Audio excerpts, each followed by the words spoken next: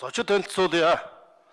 Дэлхийн хэвлэлийн эрхчлөөний өдрийг тохиолдуулан парламентын сэтгүүлчид, зурагчин зураглаачид, хэвлэл мэдээллийн ажилтнууд маань улсын хурлын үйл ажиллагаатай танилцж байна. За эрхэм үндэт сэтгүүлчид, хэвлэл мэдээллийн байгууллагын ажилтнууд та бүхэндээ дэлхийн хэвлэлийн эрхчлөөний өдрийн мэндийг өргөн төвшүүлье. За нэгдсэн үндэсний байгууллагын Ерөнхий ассамблеийн шийдвэрээр жил бүрийн 5 дугаар сарын 3-ны өдрийг дэлхийн хэвлэлийн эрхчлөөний өдөр болгон тэмдэглэж зарлан тунхаглаж ирсэн. Манай улс одоо 30 дахь жилдээ дэлхийн хэвлэлийн эрхчлөөний өдрийг тэмдэглэж байна.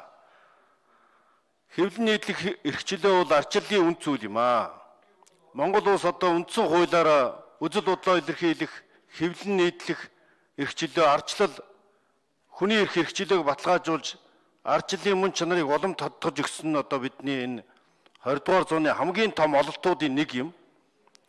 Өнгөрсөн жил энэ парламентын ажлыг ил тод нээлттэй болох парламентын шинжилгээг хэрэгжүүлэх ард түмний засаглах эрхийг хангах ил тод нээлттэй парламент хууль тогтоох ажиллагаа байх явдлыг бол манай сэтгүүлчид байнга дэмжиж парламентын хяналт шалгалт хариуцлагын тогтолцоог сайжруулах, нээлттэй сонсгол зохион байгуулах төр төдөх иргэдийн итгэлийг сэргээх талаар одоо хамтран ажиллаж ирсэн явдалд үе үеийн парламентын сэтгүүлчид та бүхэнд халуун талархал илэрхийлье.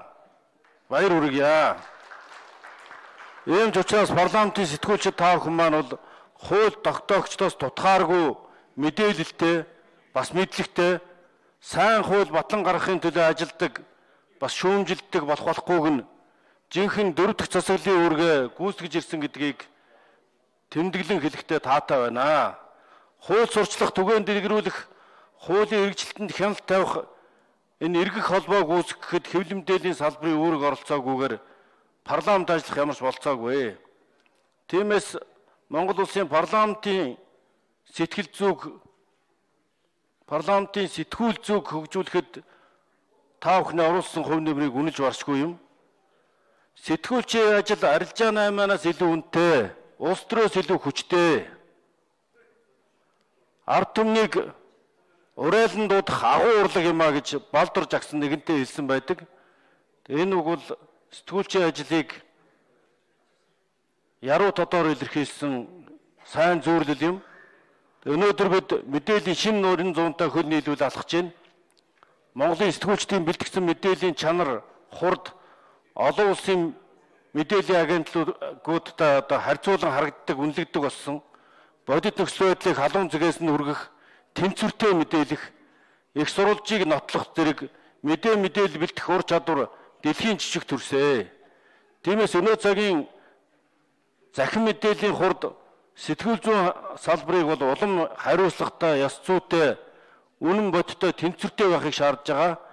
Хэвлийн эрхчлөөний өнөөдөр Монголын сэтгүүл зүйн орчин тэр дундаа хууль эрх зүйн хүрээнд сэтгүүлчдийн эрх хэрхэн зөрчигддөж байгаа тухай хэвлэн нийтлэх хэрэгчлөөг хэрхэн боогдуулсан хараа тус сэтгүүл зүйг хөгжүүлэхэд тохиолдож буй саад бэрхшээлийн талаар бас бид ярилцсан зүйтэй. Ийм учраас дөрөв дэх засаглалынхаа редакцийн хараа тус байдал болон мэрэгжлийн ёс зүйн асуудлыг хэлцгээс гадна иргэд олон нийтэд хэвлэлийн эрхчлөө хэрхэн хааж боогдуулсан талаарх үнэн бот мэдээллийг хүргэж төр засагт хэвлэлийн эрхчлөөг сануулах үүрэгт одоо энэ 5 дугаар сарын 3-ны өдөр ийг дэлхийн хэвлэлийн эрхчлөөний өдрийг тэмдэглэхийн утга учир юм.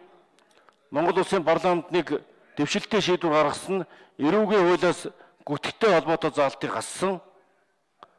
Цаашид хэвлэлийн эрхчлөөг хангахад хууль эрх зүйн орчныг сайжруулах, сэтгүүлчдийн хариуцлага ёс зүйг дээшлүүлэх, мэдээллийн ил тод нээлттэй байдлыг хангах захим сэтгүүл зүг дэмжих зэрэг олон асуудлууд бий. Эрхэм сэтгүүлчид та бүхний үгтэн үнэн үзэгтэн хурц байх болтугай. Та бүхэнд ажлын өндөр амжилтыг хүсээрөөё.